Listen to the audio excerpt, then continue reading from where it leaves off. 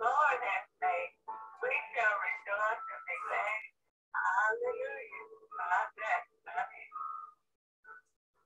Hey, everybody, God bless you. Hey, I hope you're having a great Sunday, and I hope you're going to have a great Thanksgiving. Amen. This is the time to give thanks to what God has done, has brought us through, has blessed us with. Amen. This is the time, this is the season of Thanksgiving. Now, just remember, give glory to God for those things that He has brought us through. That's where the blessing comes from, is to continue to believe and trust in God that He brings us through day by day, year by year. And the blessings of being able to have fellowship with uh, our fellow man, our family members and friends throughout the year. And, you know, even if some of them have gone on with the Lord, it was a blessing to have fellowship with them, to have a relationship with them. Amen. And knowing that they're going home to the Lord and you'll see them again. And one of the things we brought out in the study today was the fact is that and and and those who have gone home with the Lord, they no longer operate in the same time we're operating in. They, they, to us is is is is uh, a, a, past, present, and future, uh, rising of the sun, going down into the sun. That that's how we use a reference time. Well, just remember that in eternal life, they, they, there's no reference of the sun going down or, or, or, or rotation of the earth. We're talking about the heaven and universe, right? So time is different and it's not, it's not as relevant to, to them as it is to us. So, but the blessing is that we had opportunity to get to know them. Now, well, I want to talk about as as we, as we move into and get ready for the Thanksgiving uh, holiday. I want to make sure we remember something. What we talked about today, Sunday, was about not allowing people to create a narrative or a negative narrative for your life. And what I mean is, people can say all kinds of things to you, but you need to recognize that the only narrative that you have to receive is the narrative that God has given you. Hey man, I mean, that's a blessing by itself when you think about it. What does God say about me? How do I stir myself up about who I am? I do it by recognizing what He has said. Because I guarantee you, in life, there's people who have a uh, who are willing, eager to create a narrative concerning who you are or a reputation of who you are. I mean, we talk about even when you go out back from the things with racism and stuff like that.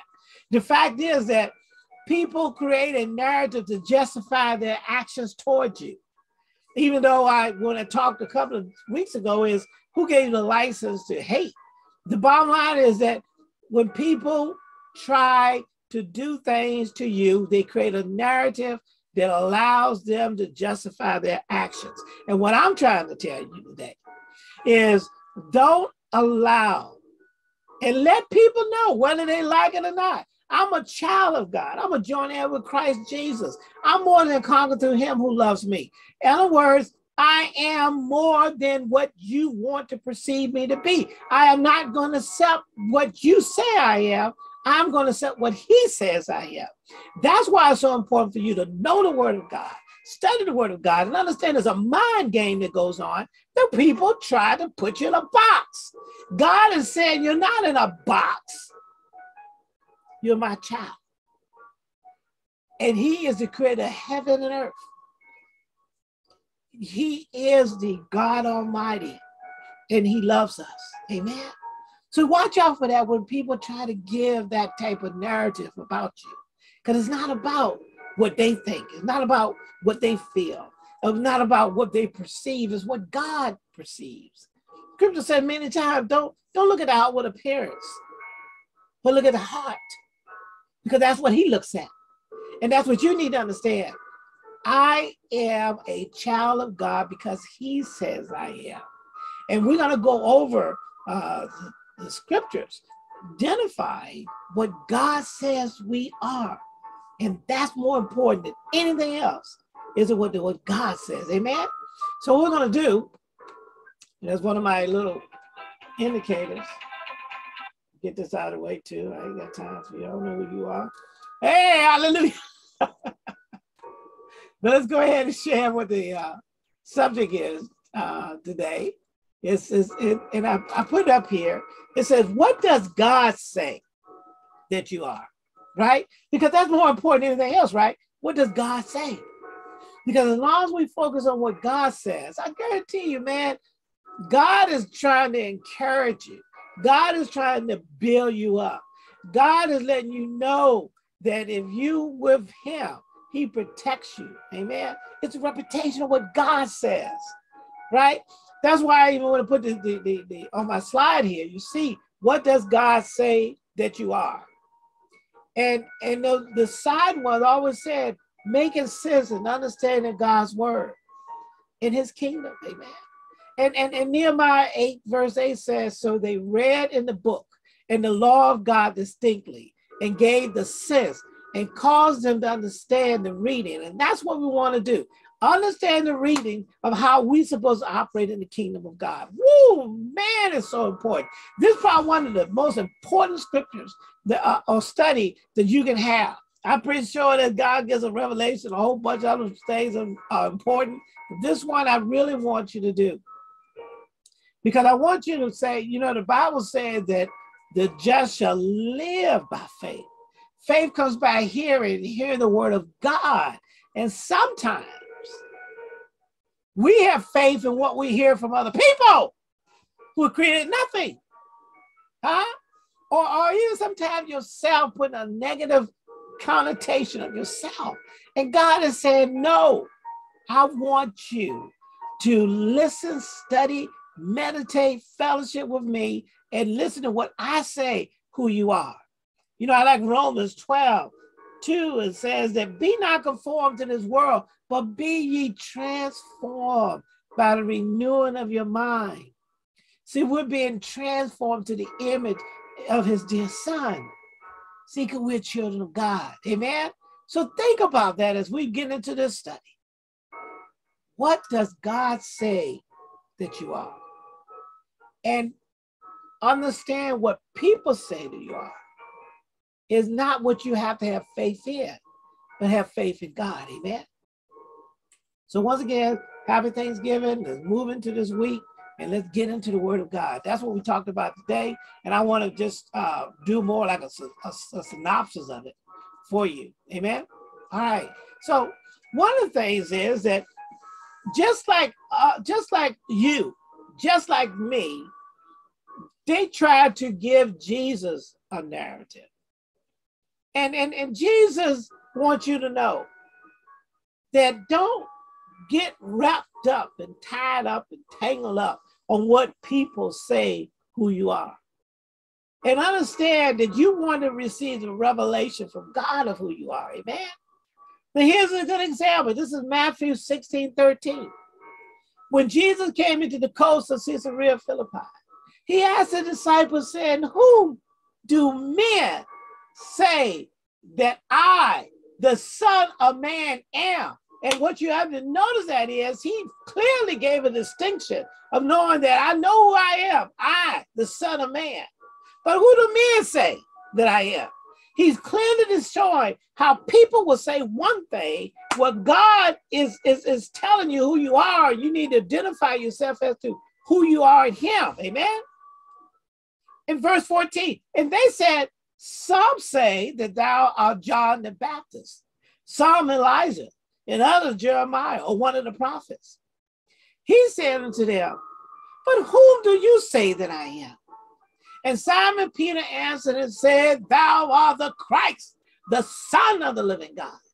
And Jesus answered and said unto him, Blessed art thou, Simon Bar Jonah, for flesh and blood. Listen what he said. For flesh and blood. Listen what he said. For flesh and blood has not revealed it unto thee, but my Father which is in heaven. And I'm telling you that God is saying the same thing to us that the word of God, no matter what people want to say, is inspired by God. And what God says is where you get your blessings from.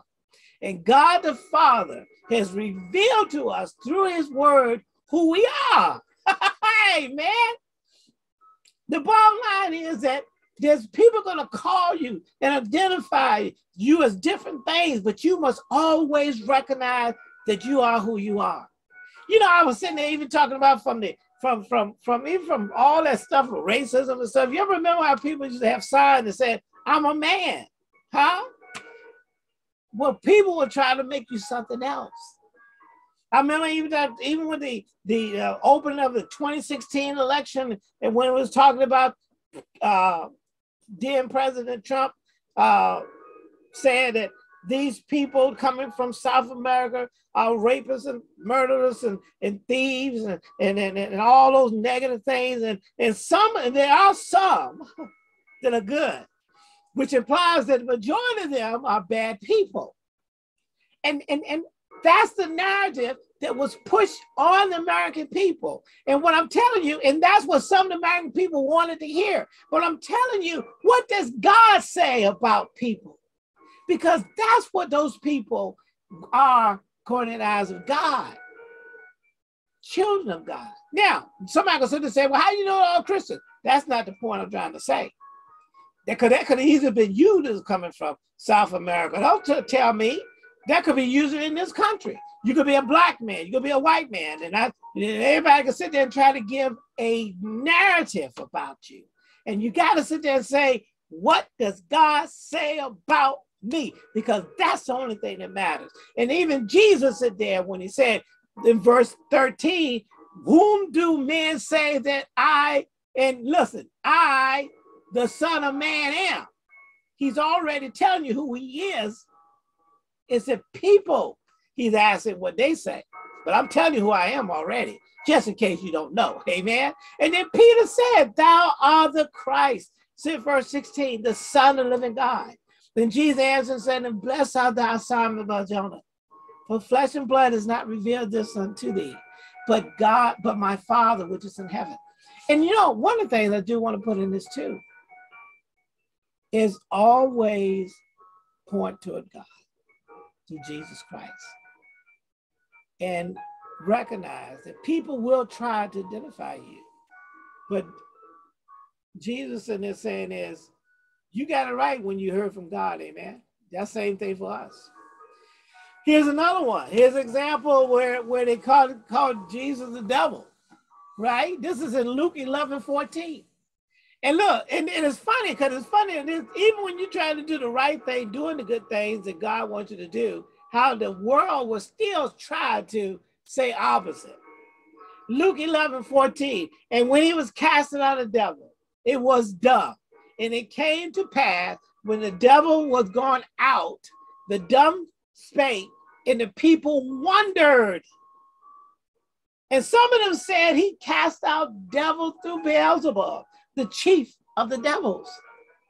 And others, tempting him, sought of him a sign from heaven. But he, knowing their thoughts, said unto them, Every kingdom divided against itself is brought to desolation, and a house divided against a house falleth. If Satan also be divided against himself, how shall his kingdom stand? Because you say that I cast out devil through Beelzebub.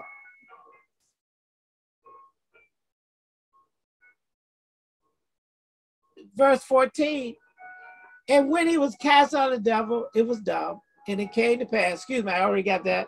Uh, verse 18 is where we at. If Satan also be divided against himself, how shall his kingdom stand? Because you say that cast out devil through Beelzebub. But if Beelzebub cast out devils, by whom do your sons cast them out? Therefore, they be your judges. But if I, with the finger of God, hallelujah, cast out devils, no doubt the kingdom of God has come upon you. When a strong man armed keepeth his palace, his goods are in peace. But when a stronger than he shall come upon him and overcome him, he taketh from him all his armor where he is trusted and divided his spoil. He that is not with me against me, and he that scatters not will be scattered. That's the whole point of this, brothers. And we got to close out on this, and we'll come up on the next one. This is part eight of what we talk about. But the main thing, man, is this People will try to get a narrative. That's why I really want to get down to you today. People want to get a narrative a negative thing about you. I'm trying to tell you, don't let that happen. Believe God. Amen. Hey, hallelujah. Amen. So we'll come back on part uh, B, but we're gonna go ahead with Elder Johnson. Let me see if I can. Uh, Elder Johnson don't play, man. He he sit there and uh, I like I like how he put his music out there. But you know he's going on with the Lord now. But he's a blessing. He's been a blessing to me anyway. Amen. All right, so we'll catch you. We'll go to phase uh, part B. And uh, I'll check you later. Amen. Amen. God bless. Bye bye.